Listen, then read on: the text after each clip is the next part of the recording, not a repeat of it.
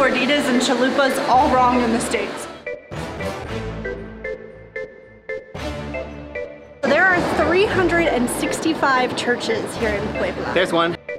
You don't like Ferris wheels, so why are we doing this? Cheers, ice cream.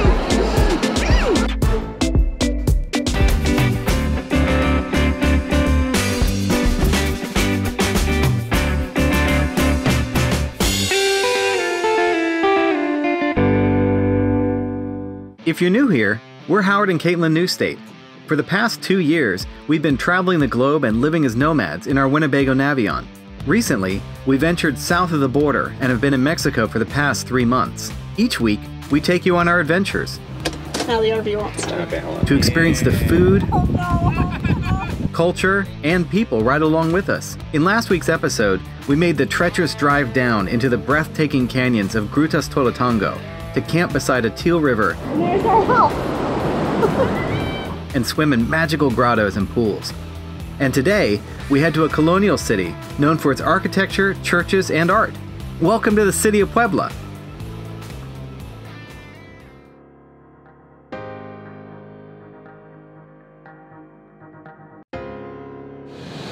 Kind of sad to see this go. This is like one of the prettiest places I think we've ever been. But now it's time to go to Puebla. So long, Grutas de Tolantongo. All right, time to hit the road. We're all Yeah. packed up. Let's go. Slides in.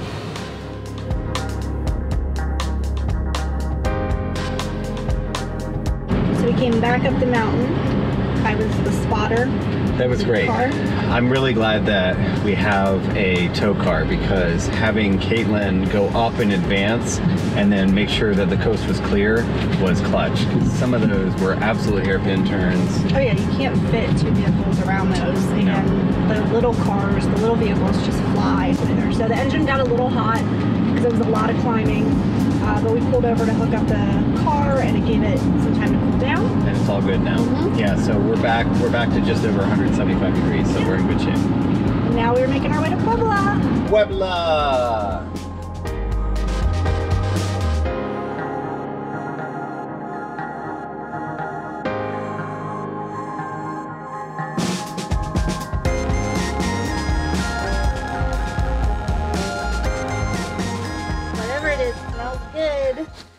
Okay, so in Hidalgo State, there is a pastry dish that's kind of like an empanada, but it's their version of it. They look like puff pastries, and they're stuffed with all kinds of delicious stuff. So I got a pineapple one, a um, mole, chicken mole one, chicken and potato one. And we kept seeing signs for it. It's pastes. Yep. P A S T E S, and we didn't know what it was, so thanks to Google. We learned and we found a place along our route, so they smell really good. The place is really cute too. Just a little tiny thing. They look like little like pizzeria shops because they have their little ovens. This is what I call a working lunch. okay, so here's one. This says, this definitely says quail on it. Cool, this is the potato and, and chicken one. Mmm. Here, my love. What? Oh, try one. Yeah. It's flaky like a croissant. Is it good? Mm-hmm. This is um. It's like a spicy chicken. Mmm. Have a bite. Mmm. Also, these are only 16 pesos a piece, which means that's 80 cents each. Wow. Wow.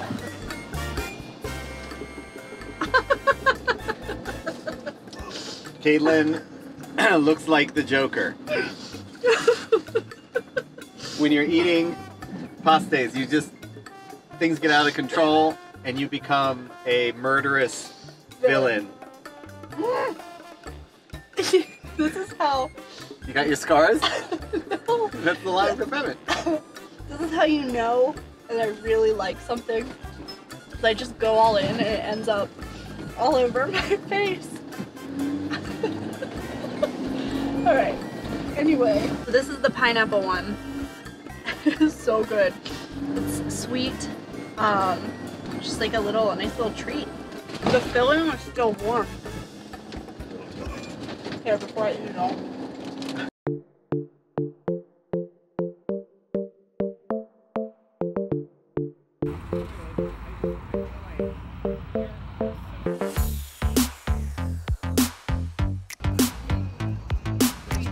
We're finally gonna have chap chapulinas, right? Chapulinas. Which is grasshoppers. Oh yeah. Grasshoppers on toast. With a salsa, not a salchicha. Salsa. Yeah.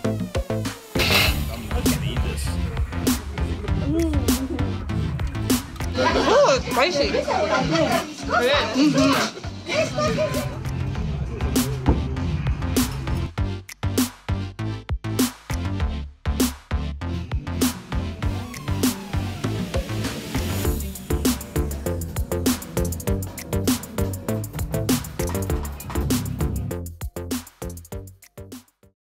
Caitlin.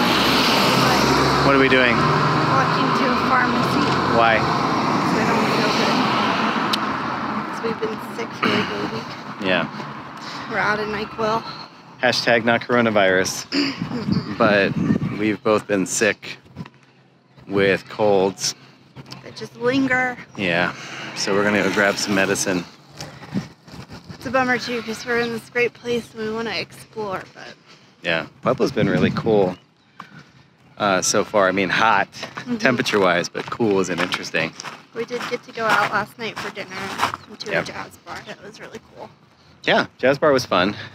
I am glad we got to do that, but it just kind of sucks. We need to take. Yeah.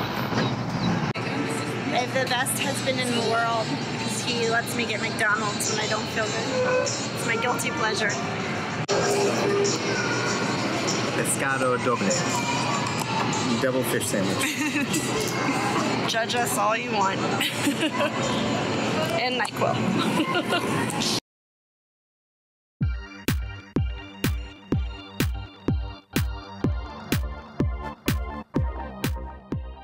Caitlin's finally feeling well enough, so we're going to try and explore Puebla today.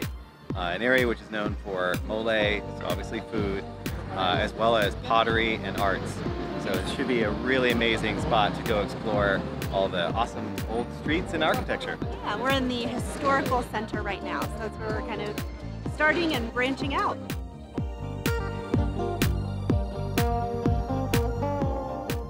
It's a Saturday, and this is now like the third or fourth market that we've walked through. Everything from like pottery to tools over here. If you want just a random, here's a perfume bottle. So it's kind of like yard sale mixed with, oh, there's a bunch of sunglasses. Oh. Howard's still in search of replacing his lost sunglasses. Yeah. So yeah, they have, I mean, pretty much everything in these markets. Books, like antiques, all kinds of stuff. Um, What are you trying to find? They told us to look for a place called La Fonda. The, the problem is they're all called La Fonda. I don't know what La Fonda means, but apparently it has something to do with food.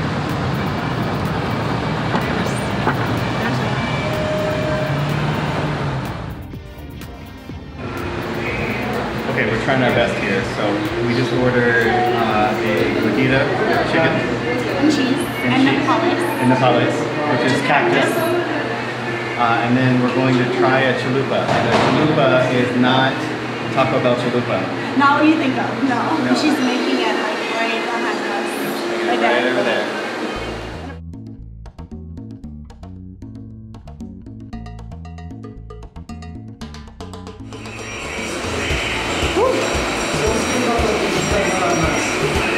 Wow, it's so good.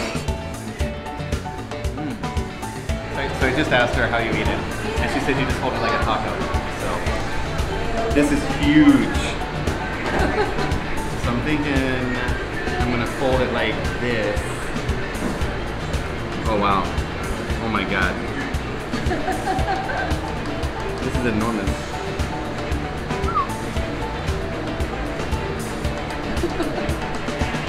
oh my god.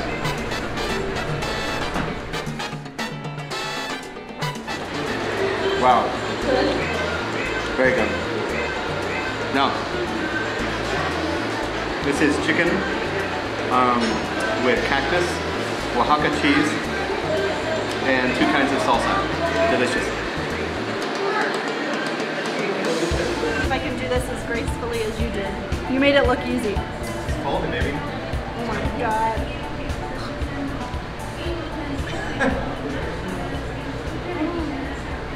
Mm, mm, mm. We're doing gorditas and chalupas all wrong in the States. it is hot today. It is in the 80s. Some music playing. So there are 365 churches here in Puebla. There's one. And there's another. more. so many. We walked into one, and Howard was like, "Oh yeah, I forgot how many churches there are here." I'm like, "Yeah, we don't need to go in every single We one." don't need to go to every single church, but we did find a walking tour app uh, that lists off the top 16 things that we should see as an introduction to Puebla. So we're going to hit them now. First stop, San Miguel, the patron saint of Puebla. And they even made a fountain for him in 1777.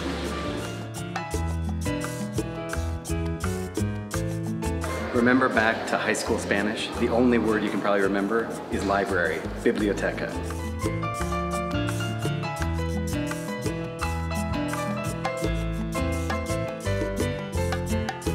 in the States, you go to a library and you borrow a book. You take it home, you read it, and then you return it, right? Well, here it has always been against the law to remove a book from the building. And if you did, you were actually excommunicated.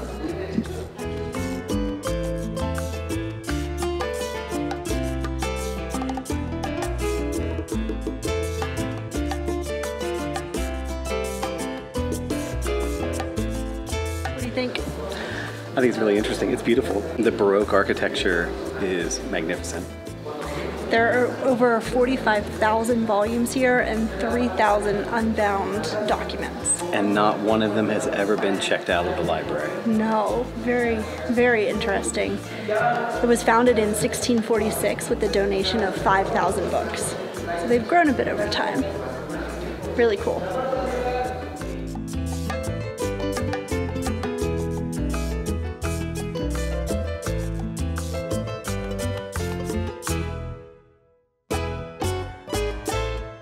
Came out of the convent of Santo Domingo.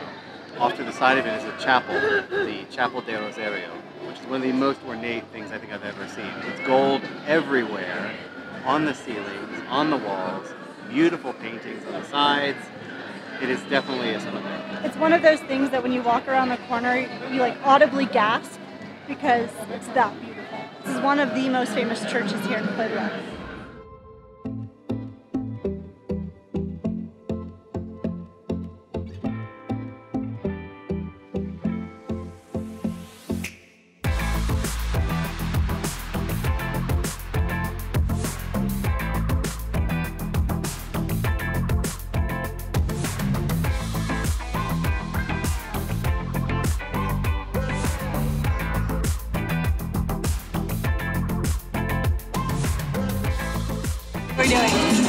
Are going on a Ferris wheel. It's the tallest one in Latin America. What did I just tell you?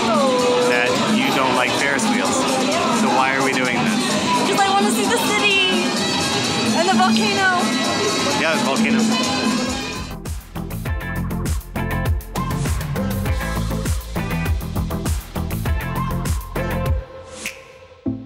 It has been a weird week, to say the least. Yeah, that's a way of putting it. Um, Well, the U.S., I mean, is approaching total lockdown uh, due to coronavirus. We're filming this today on is March 16th. 16th, yeah. Yeah. And Mexico has not really had any of those issues. The closest thing that we've had was yesterday when we were at Costco, and people are starting to go a little crazy about toilet paper. Which is the weirdest thing. We saw it in the States, you know, watching from afar. You all have seen it. I just, I don't understand it, but that's the thing people want right now. We spent a lot of the week working. Um, we didn't really get to explore as much as we wanted to, which is fine. Puebla wasn't my favorite city. I'm glad we came. This campground has been awesome. This is one of my favorite ones that we've stayed at. They've been so friendly. The showers are really clean, really hot water. This is Trailer Park Las Americas, very close to um, Cholula, downtown Cholula, which is like a suburb of Puebla. Puebla's about 20, 25 minutes away from where we stayed. There's 24 hour security. The guard's really nice. They have friendly dogs, so it's been a great spot to to hunker down for the week. Yeah. Uh, but now we are all hooked up and getting ready to go. Where are we going? So we're we're heading towards the Yucatan now. Some beach time. And Beach you know, time. things start to get crazy here in Mexico, at least we'll be at the beach. Mm-hmm. so, Beach never closes. nope.